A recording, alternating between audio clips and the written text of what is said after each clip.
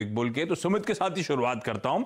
सुमित, समझाएँ, किस तरह का मूल्यांकन इस समय कोटेड इन्वेस्टमेंट्स का है? बिग बुल के कौन से बड़े इन्वेस्टमेंट्स हैं? हाल फ़िलहाल किस तरह की हरकत हुई है पोर्टफोलियो में? शुक्रिया आशीष। देखिए बिग बुल को सब जानते हैं, उनके इन्वेस्टमेंट्स को भी कोई छुपा नहीं सकता। जैसी खबर आती है, शेयरों में अपने आप ही रिएक्शन देखने को मिलता है। लेकिन अलग अलग माध्यम से वो इन्वेस्ट करते हैं, यानी कि अपने नाम से, अपनी धर्मपत्नी के नाम से, अपनी जो फॉर्म है उसके नाम से।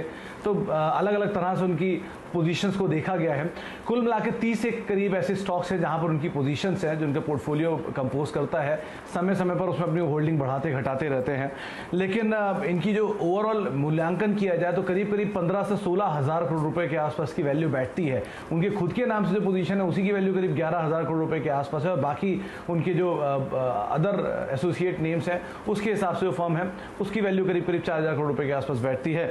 इनके पोर्टफोलियो में करीब ऑन एन एवरेज ग्यारह परसेंट का एक डिक्लाइन इस साल देखने को मिला है। On an average on an average इसलिए बोल रहा हूँ कि कुछ शेयर ऐसे हैं जिनमें एक जोरदार रिटर्न रहा है, सौ परसेंट से ज़्यादा का। कुछ शेयर टूटे भी हैं, कुछ अभी एक रेंज में ही काम काज कर रहे हैं। लेकिन मोर और लेस इनका पोर्टफोलियो लोअर लेवल से या फिर इस साल में वाईटीडी में करीब करीब एक परसेंट का एक जंप दिखा चुका है। साल भर में, पिछले साल के कंपेरिजन में ग्यारह परसेंट टूटा और इस साल अब तक एक परसेंट का एक जंप आया। मेजरली कंज्यूमर डिस्क्रिशनरी और एग्रीकल्चर इनके पोर्टफोलियो का मेन हिस्सा है। जैसे टाइटन हुआ या फार्मास्यूटिकल लूपिन जैसी कंपनीज़ और बिंदो फार्मा जैसी कंपनीज़ के अंदर कुछ हद तक हिस्सेदारी होल्ड करते हैं रिटेल ये कुछ और ऐसे नाम हैं जो कि अपने पोजिशन रखते हैं। मेजरली लेस एक्सपोजर जो है, वो इनका फाइनेंशियल्स में है, जैसे फेडरल बैंक जैसे या करूर व्यासा बैंक जैसे बैंक जो है, जहाँ पर इनका एक्सपोजर है। दो तीन कंपनीज़ जहाँ पर रिसेंटली पोजिशन बढ़ाई है, उसमें एक रैलिस इंडिया है टाइटन है जुबलेंट लाइफ है, जिसके अंदर पोजिशन बढ़ाई है। वीआईपी इंडस्ट्रीज़ जो कि रिसेंटली काफ़ी करेक्ट हुआ है, इन कंपनीज़ में उनकी हिस्सेदारी थोड़ी बढ़ते हुए दिखाई पड़ी है, लेकिन एक स्ट्रॉन्ग पोजिशन पिछले कई सालों से दशक से होल्ड कर रहे हैं।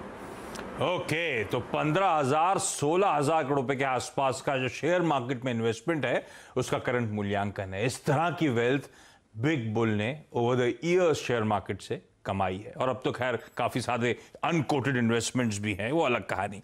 लेकिन तो आज करना क्या है? सुमित ने आपको पोर्टफोलियो का एक जिस्ट दिया। पर आप उस पोर्टफोलियो में तीस स्टॉक्स उन सब का डिस्कशन करना लॉजिक भी नहीं था। तो बिग बुल की जो बड़ी बेट्स हैं या ऐसे जो स्टॉक जो हाल फ़िलहाल खबरों में है, चर्चा में हैं उन स्टॉक्स को मैंने सिलेक्ट करा है, जिस पर दो देश के जाने माने फंडामेंटल एनालिस्ट हैं, मदद करेंगे। हम ये जानने की कोशिश भी कर रहे हैं कि उन बिग बेट्स में से हमारे और आपके लिए भी कहीं मौके हैं क्या निवेश करने के। शुरुआत कर रहा हूँ गौरांग सर आपके साथ, और क्विकली, क्योंकि मैं चाहता हूँ जितने ज़्यादा से ज़्यादा पोर्टफोलियो के स्टॉक्स कवर हो जाए, इसीलिए मैं बीच की बातचीत को खत्म करके सीधे सीधे स्टॉक्स पर उतर रहा हूँ। पहली कंपनी डायरेक्टर साहब स्क्रीन पर लेकर आइएगा, वो है टाइटन कंपनी, और ये बिग बुल ने सबसे तगड़ी वेल्थ मेरे ख्याल से इसी कंपनी के ज़रिए क्रिएट करी थी ओवर द इयर्स आज भी बिग बुल साढ़े पाँच परसेंट का स्टेक ओन करते हैं।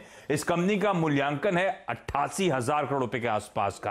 यानी कि बिग बुल का जो स्टेक है। अच्छा मैं बिग बुल का स्टेक कह रहा हूँ, जैसे सुमित ने कहा, एक तो अपने नाम से इन्वेस्ट करते हैं, दूसरा अपनी पत्नी रेखा झुंझुनवाला के नाम से इन्वेस्ट करते हैं, या फिर अपनी एंटरप्राइज रारे एंटरप्राइज या कई लोग उसे रेयर एंटरप्राइज कहते हैं, उससे इन्वेस्ट करते हैं। तो मैं सबको इंक्लूड कर रहा हूँ। जहाँ जहाँ बिग बुल का एक्सपोजर है।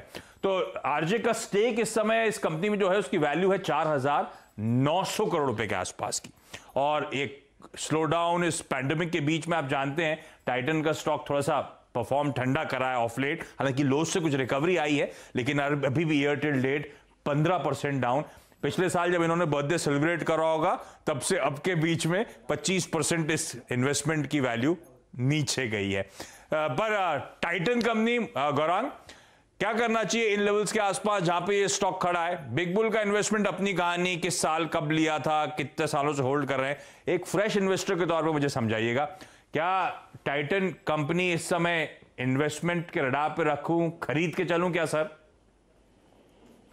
धन्यवाद आशीष, और आप सभी को शुभ दिन हमारे तरफ़ से। तो मेरे ख्याल से इतिहास और तारीख गवाह है जब से राकेश जी का निवेश इस कंपनी में रहा है और एक सबसे मेरे ख्याल से पुराना निवेश इनका इसी कंपनी में है और कई सालों से ये निवेश बरकरार है। हमारी भी खरीदारी की कवायद इस कंपनी पे है और उसकी वजह एक नहीं दो तीन है। पहले तो जेम्स एंड ज्वेलरी का कारोबार और सोने के दाम। जैसे सुनने में आ रहा है कि 1750 1800 डॉलर से करीबन 2000 2200 डॉलर तक जाने की संभावना है तो एक गणित लगा करके आप अंदाज़ा लगा सकते हैं। कि रुपए में सोने का दाम क्या होगा? उसके साथ साथ पिछले कई तिमाहियों से हम ये देख रहे हैं कि रिस्ट वॉच जो सेगमेंट है, जो कि काफ़ी बड़ा योगदान बैलेंस शीट पे आता है, वहाँ से परफॉर्मेंस जो है, वो काफ़ी बेहतर होते जा रहा है और आने वाले समय में यहाँ पर रुझान बेहतर होने की पूरी पूरी संभावना। आई केयर और एक्सेसरीज का जो कारोबार है, वहाँ से भी सुधार होते हुए दिखता है।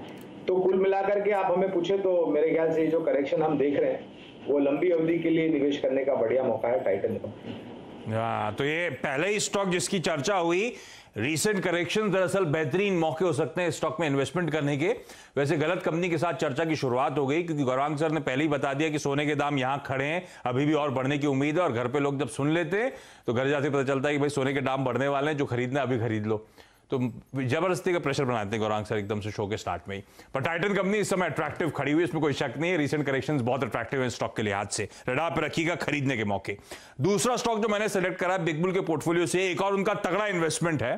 वो है एस्कॉट्स में। और रिसेंटली आपने देखा ही किस तरह से कंपनी खबरों में आई है और क्या गजब की रिकवरी क्या गजब का मूव अपने ऑल टाइम हाईस पर जाके स्टॉक खड़ा हुआ है। इसीलिए इसको भी मैंने सिलेक्ट करा है। क्या सिलेक्ट करने की भी वजह थी कि टाइटन के बाद दूसरा सबसे तगड़ा इन्वेस्टमेंट भी दरअसल एस्कॉट्स में ही है बिग बुल का इस समय करंट मार्केट वैल्यूएशन के लिहाज से। एस्कॉट्स का जरा स्क्रीन पर लेकर आइए।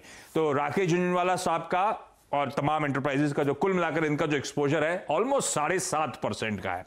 रीसेंट रैली के बाद ये जो स्कॉट्स है ऑलमोस्ट तेरह हज़ार करोड़ के मार्केट कैप कमांड कर रही है और आरजे के स्टेक का इस समय वैल्यूएशन हो जाता है नौ पचपन करोड़ रुपए का। ऑलमोस्ट हज़ार करोड़ रुपए राखी जुनवाला के यहाँ पे बन रहे हैं। और ये स्टॉक जैसे मैंने कहा, गजब का परफॉर्मेंस है। ईयर टिल डेट यानी कि इस साल की शुरुआत से अब तक पैंसठ परसेंट और राकेश जी के पिछले बर्थडे से अब तक तो ये स्टॉक ऑलमोस्ट दोगुना होने की कगार पे खड़ा हुआ है। इस तरह की वेल्थ इनके लिए क्रिएट करके दे दी है स्कॉट्स ने। लेकिन स्कॉट्स वाकई बहुत स्ट्रांग मोमेंटम लेकिन अब इतनी तेज़ी के बाद क्या और रूम है? हम और आपको फ्रेश इन्वेस्टमेंट स्कॉट में करने चाहिए या स्कॉट को रिडा पे रखें? इवेंचुअली अच्छा मौका मिले तो एंट्री करनी चाहिए। क्या उस लायक है ये स्टॉक या नहीं? सेठी सर क्या कॉल होगा आपको स्कॉट्स को लेकर? गुड आफ्टरनून आशीष सबसे पहले तो जो भारत के सबसे सफलतम इन्वेस्टर और भारत के वॉरेन बफे कहे जाने वाले राकेश झुंझुनवाला जी का कल जन्मदिन है तो उनको जन्मदिन की हार्दिक शुभकामनाएँ। May God bless him with loads of happiness prosperity health and wealth अब बाकी जहाँ तक एस्कोर्ट्स का सवाल है एक बहुत ही शानदार कंपनी है और हमने देखा पिछले एक महीने में भी बहुत ही शानदार रनअप इस स्टॉक ने दिया। अपने लाइफ हाइज या 52 वीक हाइज के आसपास ये स्टॉक चलता है और कल जो मंथली सेल्स नंबर्स भी इस कंपनी ने अपने ट्रैक्टर सेल्स के दिए काफ़ी शानदार थे। ट्रैक्टर डिवीज़न अच्छा कर रहा है रूरल इकोनॉमी अच्छा कर रही है और इस लॉकडाउन के बीच में भी जो एग्रीकल्चर या जो रूरल इकोनॉमी है वहाँ पे कोई ज़्यादा फ़र्क पड़ा नहीं है। तो बहुत ही अच्छा स्टॉक है मुझे लगता है बट चूँकि एक रैली ऑलरेडी बन चुकी है तो होल्ड करना चाहिए करंट लेवल्स पे फ्रेश खरीदारी के लिए आ, कुछ डिक्लाइंस का इंतज़ार करना चाहिए। जब भी बाज़ार में सेंटीमेंट्स खराब होते हैं स्टॉक डिक्लाइन करता है तो मुझे लगता है वो एक अच्छा मौका होगा इस स्टॉक में खरीदारी करने का। बाकी एक शानदार कंपनी है बिल्कुल होल्ड करने की सलाह है। मेरा इसमें एक साल का लक्ष्य रहेगा साढ़े बारह सौ रुपए। तो आप एक आप कह रहे हो गिरावट पे खरीदारी। आप विकास सर किन लेवल्स पे कंफर्टेबल हो गए इस स्टॉक में एंट्री पाने के लिए? कहाँ पे मैं खरीदना शुरू करूँ इस स्टॉक को? आ, मुझे लगता है अगर साढ़े नौ सौ के आसपास ये स्टॉक वापस आता है कोई कारण से तो that would be a good level to enter और वहाँ पे बिल्कुल खरीदारी करने की सलाह देंगे बिल्कुल ठीक। तो साढ़े नौ सौ लेवल्स के आसपास अगर स्टॉक आता है तो अट्रैक्टिव बाय होगा। है पोर्टफोलियो में लकी आप। तो होल्ड करिएगा स्टॉक को यहाँ से और अच्छे दमखम इवेंचुअली स्टॉक दिखाएगा। क्रिसिल अगला स्टॉक है। जैसे टाइटन के लिए गौरांग सर कह रहे थे, जाना जाता है कि राकेश सर ने कब इन्वेस्टमेंट करा था और कितनी वैल्यू क्रिएट करी। क्रिसिल में भी बहुत एग्रेसिव रहे हैं राकेश सर और क्रिसिल की डिटेल्स आप लोगों की स्क्रीन पर आएँगी।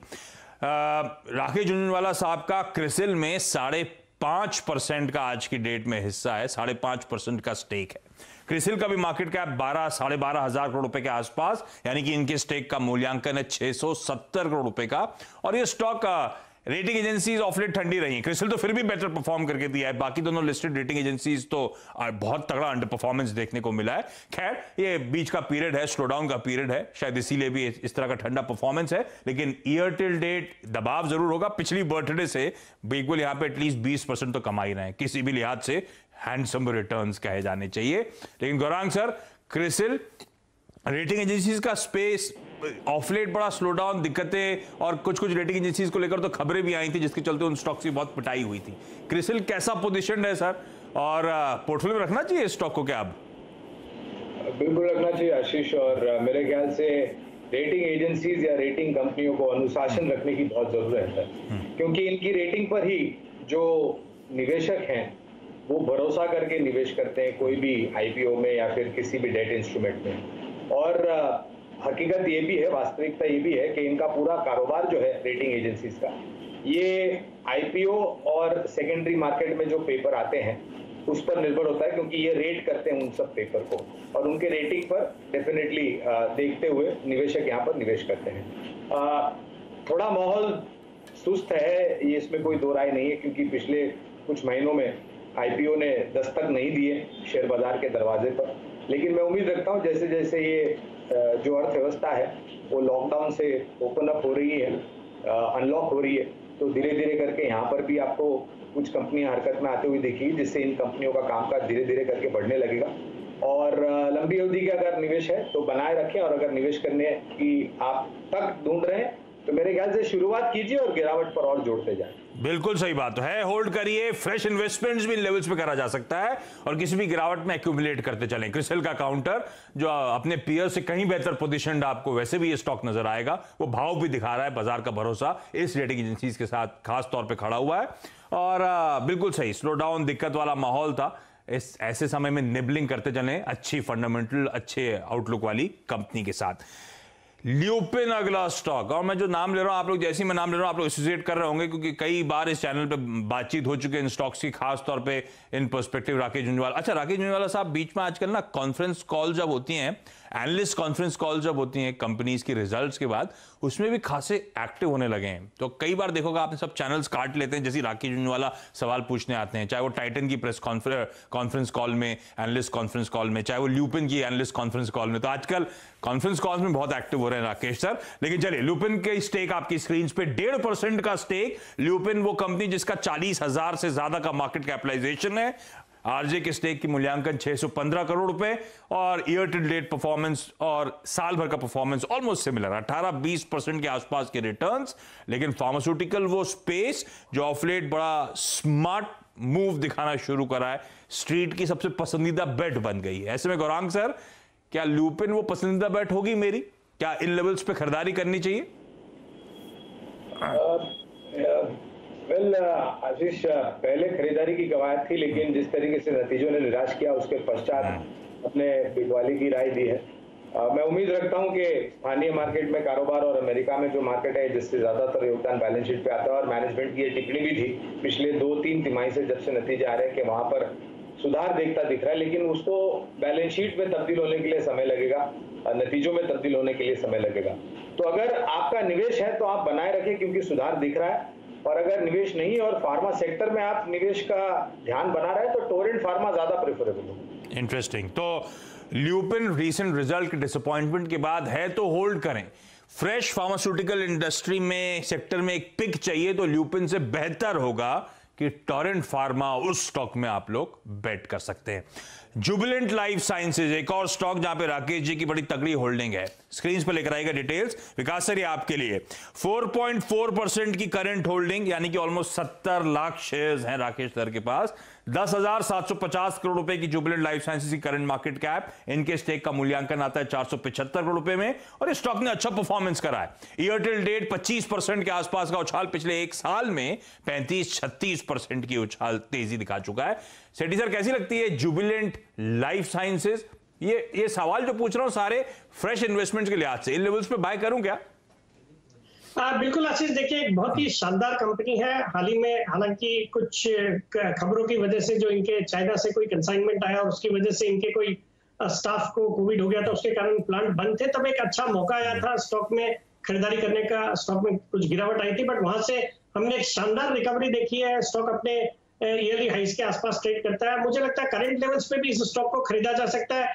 वैल्यूएशन के लिहाज से भी अच्छा लगता है। बाकी एक स्टैगर्ड रूप में बाइंग करने की सलाह रहेगी। मुझे लगता है करंट लेवल्स पे थोड़ा खरीदे, थोड़ा बाज़ार में कोई करेक्शन आता है स्टॉक में कोई करेक्शन आता तो वहाँ पे खरीदे। एक अच्छी क्वालिटी का स्टॉक है और मुझे लगता है इस स्टॉक में हम आने वाले साल भर के अंदर साढ़े आठ सौ, नौ सौ तक के लेवल्स बिल्कुल देख सकते हैं। तो ये भी वो काउंटर है जो बाय ऑन डिप्स की रणनीति रखें अच्छी फंडामेंटल वाली कंपनी और सही है, दिलाया सेठी सर ने। जब ये पैंडेमिक शुरू शुरू हुआ था ना तो कॉर्पोरेट इंडिया में one of the first cases जो रिपोर्ट हुए थे, वो जुबलेंट लाइफ साइंसेज का था। कि इनके एम्प्लॉय को कोविड हो गया। उस टाइम पे कोविड को लेकर थोड़ा सा शार्प रिएक्शन स्ट्रीट में आता था। आजकल तो कई सारी कंपनीज़ अपडेट देती हैं और शायद कवरेज के बिना ही अपडेट चले जाते हैं कि कोविड हुआ एम्प्लॉयज़ को।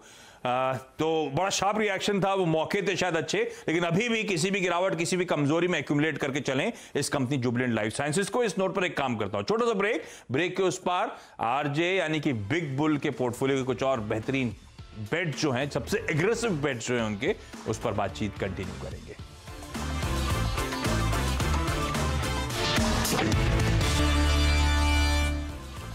चलिए ब्रेक के बाद आपका स्वागत है। हम बात कर रहे हैं बिग बुल यानी कि राकेश झुंझुनवाला। बिग बुल की बिग बेट्स की। वो स्टॉक जहाँ पे उनका सबसे तगड़ा एक्सपोजर है।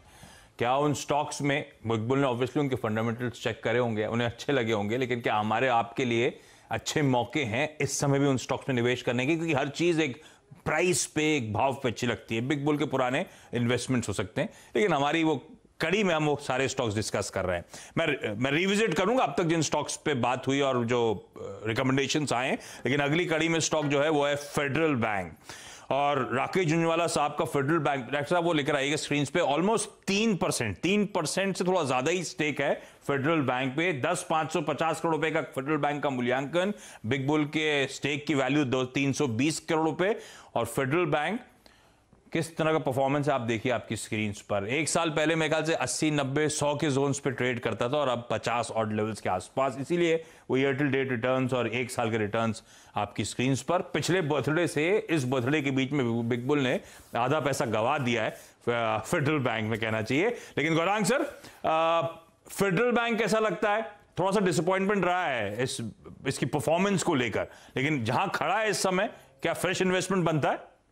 बिल्कुल बनता है और उतार चढ़ाव तो बाज़ार के दो पहलू है आशीष। हम्म, हम्म। और अक्सर ऐसा होता है कि कोई भी निवेशक अगर निवेश करता है तो और हर निवेशक यही चाहता है कि हमारे निवेश करने के बाद शेयर ऊपर जाए नीचे ना आए। हाँ। लेकिन वास्तविकता में ऐसा होता नहीं है।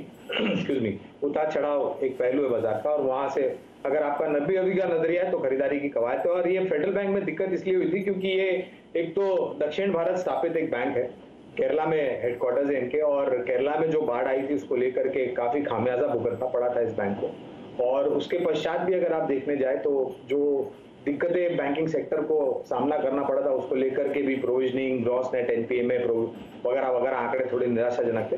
लेकिन अब सुधार दिख रहा है, और हमें लग रहा है कि अगर आप लंबी अवधि का नज़रिया तो फिर से वो ऊपर भी स्तर लौट के आए, उसमें हमें ताजुब नहीं होगा। ओके तो फेडरल बैंक खरीदारी करने के मौके हैं। जिन लेवल्स पे अभी आके खड़ा हुआ अट्रैक्टिव जोन है अट्रैक्टिव लेवल्स है लॉन्ग टर्म का नज़रिया, लंबी अवधि का नज़रिया लेके चलिएगा फेडरल बैंक पर। दो और स्टॉक्स क्विकली कवर करना चाहूँगा मैं। उसमें विकास सर, अगला स्टॉक है एमसीएक्स मल्टी कमोडिटी एक्सचेंज और एमसीएक्स में बिग बुल का ऑलमोस्ट चार परसेंट का हिस्सा छियासठ सौ करोड़ का मार्केट कैपिटलाइजेशन है इस कंपनी का तो बिग बुल का स्टेक जो है करीब ढाई सौ करोड़ रुपए के आसपास का। और एमसीएक्स में भी अच्छा पैसा बना है। पिछले बर्थडे से इस बर्थडे के बीच में पचास परसेंट का मूव इस स्टॉक ने दिखा दिया है। पर विकास सर, क्या करना चाहिए? एमसीएक्स जहाँ इस समय खड़ा है स्टॉक पे कॉल क्या होगा? नहीं, बिल्कुल, आशीष, देखिए, बहुत ही शानदार कंपनी है नियर मोनोपली है अपने फ़ील्ड में, ये आपके क्रूड है मेटल्स है, और बाकी काफ़ी अच्छे मार्जिन है, नतीजे भी क्वार्टर ऑन क्वार्टर अच्छे आते हैं। मुझे लगता है इस स्टॉक में बिल्कुल बने रहना चाहिए, हालाँकि अपने निचले लेवल से एक अच्छी खासी तेज़ी इस स्टॉक में हुई है तो उस लिहाज से थोड़ी गिरावट का इंतज़ार करके खरीदारी करें। अब बाकी इस स्टॉक पे मैं बुलिश हूँ और मेरा एक साल में इस पे, इसका लक्ष्य रहेगा साढ़े पंद्रह सौ रुपए। अच्छा विकास सर क्विकली एक स्टॉक और दिखाई डायरेक्टर साहब स्क्रीन पे समय खत्म हो गया है एनसीसी का, जहाँ पे आरजे ने बड़ा एग्रेसिव बेट लिया था 10 परसेंट से ज़्यादा होल्ड करते हैं 6.23 करोड़ शेयर की होल्डिंग है, और ये स्टॉक तो हम सब जानते हैं इंफ्रा कंपनीज़ की पिटाई, उसमें एनसीसी खास तौर पर रिसेंट रिकवरी के बावजूद देखिए किस तरह की वैल्यू इरोजन इस स्टॉक में होती हुई नज़र आई है। विकास सर एनसीसी में क्या करना चाहिए? अब जो हो गया, वो हो गया। नहीं अगेन देखिए अच्छा स्टॉक है और बहुत अच्छी खासी पिटाई हो गई है। हाल ही में जो पॉलिटिकल डेवलपमेंट्स हुए थे उसकी वजह से भी गिरावट आई है। बट मुझे लगता है करंट लेवल्स पे भी इस स्टॉक को खरीदा जाना चाहिए और बाकी गिरावट पे और ऐड करें। और ये स्टॉक मुझे लगता है विद इन द इंफ्रास्पेस एक अच्छी क्वालिटी की बैलेंस शीट है और यहाँ से अच्छा करेगा। मेरा इस पे साल भर का टारगेट पैंतालीस से पचास रुपए का है।